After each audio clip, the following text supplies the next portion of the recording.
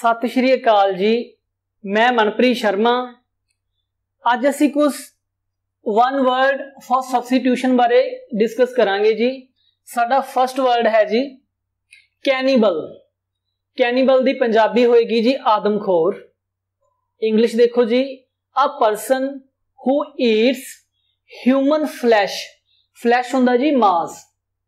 ਜਾਨੀ ਕਿ ਇਹਦਾ मीनिंग ਬਣਿਆ ਜੀ, ਜਿਹੜਾ ਮਨੁੱਖ ਮਨੁੱਖ ਦਾ ਹੀ ਮਾਸ ਖਾਂਦਾ ਹੋਵੇ ਉਹਨੂੰ ਅਸੀਂ ਇੰਗਲਿਸ਼ ਦੇ ਵਿੱਚ ਬੋਲ ਦਿੰਦੇ ਆ ਜੀ ਕੈਨੀਬਲ ਔਰ ਪੰਜਾਬੀ ਚ ਉਹਨੂੰ ਕੀ ਕਹਿ ਦਿੰਦੇ ਆ ਜੀ ਆਦਮਖੋਰ ਵੈਸੇ ਵੀ ਪੰਜਾਬੀ ਦਾ ਇੱਕ ਸਾਨੂੰ ਹੈਲਪ ਹੈਗੀ ਹੈ ਜੀ ਕਿ ਸਾਨੂੰ ਪੰਜਾਬੀ ਤੋਂ ਹੀ मीनिंग ਕੀ ਹੋ ਜਾਂਦਾ ਹੈ ਕਾਫੀ ਹੱਦ ਤੱਕ ਕੀ ਹੋ ਜਾਂਦਾ ਹੈ ਕਲੀਅਰ ਹੋ ਜਾਂਦਾ ਹੈ ਸਾਡਾ ਸੈਕੰਡ ਹੈ ਜੀ ਪੈਨਸੀਆ P A N A C E A ਪੈਨਸੀਆ Punjabi ਹੋਏਗੀ ਜੀ ਰਾਮਬਾਣ ਇਲਾਜ ਇੰਗਲਿਸ਼ ਦੇਖੋ ਜੀ a solution for all difficulties and diseases ਯਾਨੀ ਕਿ ਰਾਮਬਾਣ ਇਲਾਜ ਉਸ ਨੂੰ ਕਹਿ ਦਿੰਦੇ ਆ ਜੀ ਕਿ ਜਿਹੜਾ ਹਰੇਕ ਬਿਮਾਰੀ ਤੇ ਪ੍ਰੋਬਲਮ ਨੂੰ ਕੀ ਕਰਦੇ ਠੀਕ ਕਰਦੇ ਸਾਡਾ ਥਰਡ ਹੈ ਜੀ glutton G L U double T O N glutton Punjabi ਹੈ ਜੀ ਭੁੱਖੜ ਇੱਥੇ ਵੀ ਦੇਖੋ ਪੰਜਾਬੀ ਦੇ ਵਿੱਚ ਹੀ मीनिंग ਕਲੀਅਰ ਹੋ ਗਿਆ ਜੀ ਸਾਰਾ a person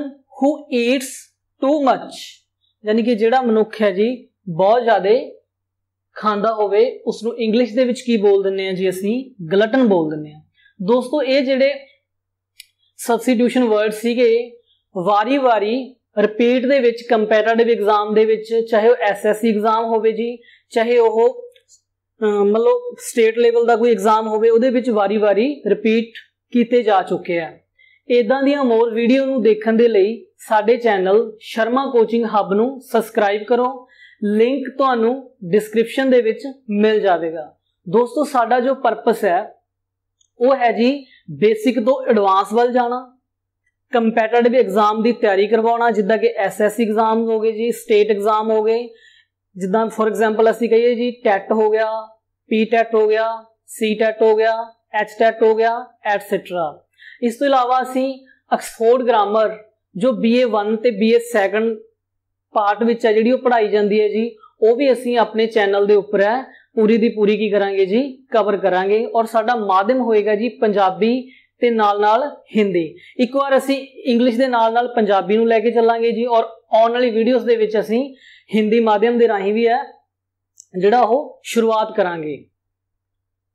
ਧੰਨਵਾਦ ਜੀ।